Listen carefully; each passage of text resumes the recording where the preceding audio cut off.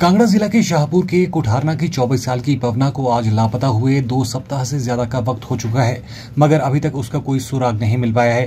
Police ने इस मामले में चंडीगढ़ के उस एजेंट को धर्मशाला बुलाकर पूछताछ भी की है, जिसके ज़रिए पवना अपनी निजी ज़िंदगी के सपने सजोने दुबई गई थी। दरअसल चंडीगढ़ के एक एजेंट द्वारा ही पवना की दुबई जाने की टिकट बुकिंग करवाई गई थी, और उसे सोलह दिसंबर को दुबई की फ़्लाइट में बिठाया गया। पुलिस ने पूछताछ के दौरान एजेंट से कई ऐसे सवाल किए हैं, जिससे पवना को ढूँढने में पुलिस को मदद मिल सकती है। पुलिस अधिकारियों से मिली जानकारी के मुताबिक, उन्हें एजेंट ने वो टिकट और फोटोग्राफ शेयर किए हैं, जो पवना को दुबई की फ़्लाइट में भेजने से पहले लिए गए थे। एजेंट ने पुलिस को उस फ़्लाइट की टिकट साझा की है, जिसके ज़रिए पवना दिल्ली से दुबई के लिए रवाना हुई थी। और इसके अलावा आखिरी बार एजेंट ने दिल्ली से दुबई भेजते वक्त जो अंतिम बार पवना के फोटोग्राफ खींचे थे, वो भी पुलिस को शेयर कर दिए हैं। Police ASP city Hitesh Lakhanpal की माने तो पुलिस ने अब एजेंट से पूछताछ के बाद दुबई और ओमान की एम्बेसी से संपर्क किया है।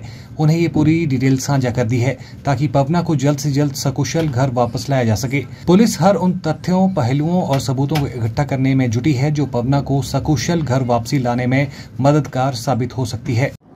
देखिए, ये जो पवना देवी लापता हुई है, इनके ब्रदर रोहित ने कंप्लेंट की थी। उसके बाद जो है पुलिस ने आगे कार्रवाई की है।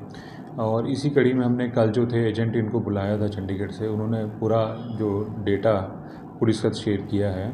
तो ये 16 तारीख को ये यहाँ से दिल्ली से दुबई गए हैं।